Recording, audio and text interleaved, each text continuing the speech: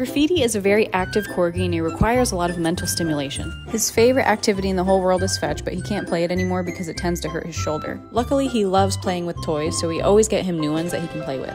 Those are your toys? There's only like a quarter of them, huh?